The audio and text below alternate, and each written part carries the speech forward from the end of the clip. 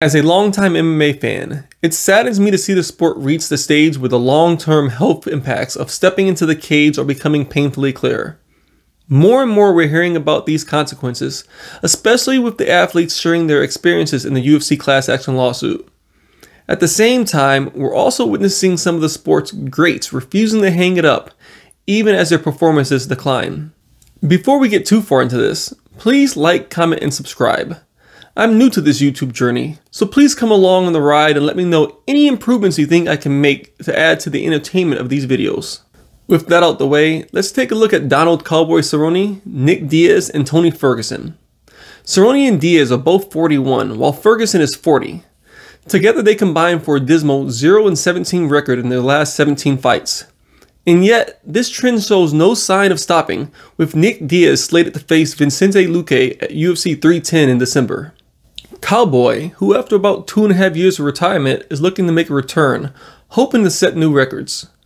Cerrone has 38 UFC fights, the third most in company history, and if you add his 10 WEC bouts, he's closing in on 50 fights under the Zuffa Endeavor banner. But here's the thing.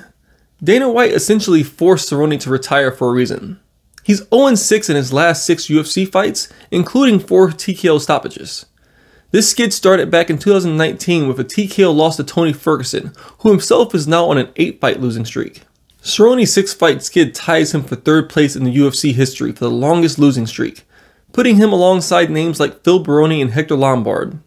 Ferguson, on the other hand, holds the unfortunate record for the longest losing streak in UFC history, surpassing even BJ Penn. While Ferguson's 8 losses have only included 2 knockouts, those knockouts were brutal.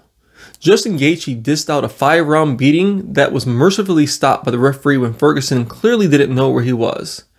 And then there's a Michael Chandler front kick knockout, a highlight reel moment from UFC 274 that was everywhere for months. The thing about Ferguson is that he's too tough for his own good. He takes prolonged beatings that arguably do more damage than the flash knockouts or having the referee step in. As for Diaz, He's lost his last four fights, with one being overturned due to Anderson Silva popping for PEDs.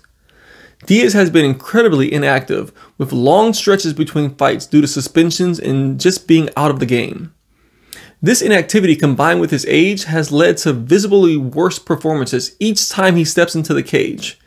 In his last bout, a TK lost to Robbie Lawler. His cardio, once his greatest weapon, was gone by the later rounds. Diaz was one of those fighters whose style relied on overwhelming his opponent with cardio and volume. He and his brother Nate were well known for competing in triathlons and being able to outlast their opponents. But now, that ability is fading, and he doesn't seem to have much left in the tank. This leaves the UFC in a difficult position.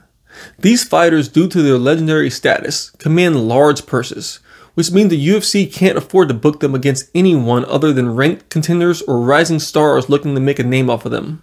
The UFC isn't really the place for a Legends division. They're constantly focusing on building new stars and growing the sport.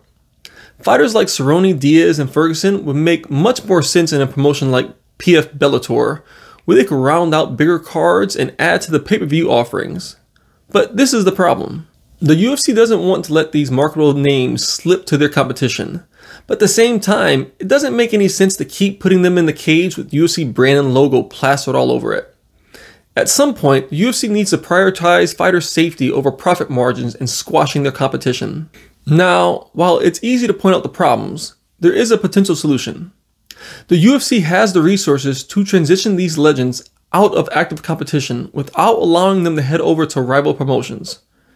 They could take a page out of the WWE's playbook, which offers legend deals to keep retired stars under contract while preventing them from appearing in competitor promotions like AEW. The UFC has an advantage that WWE doesn't Fight Pass. They already host events like the Craig Jones Invitational, a grappling showcase that would be perfect for UFC legends to compete in regularly. The UFC could easily create their own grappling events featuring former stars, offering them a clear path to retirement and life after MMA. But what do you think? Are you on the other side of the fence and are still interested in seeing these fighters continue their careers? Or would you prefer to see them hang up the gloves for good? Sound off in the comments below.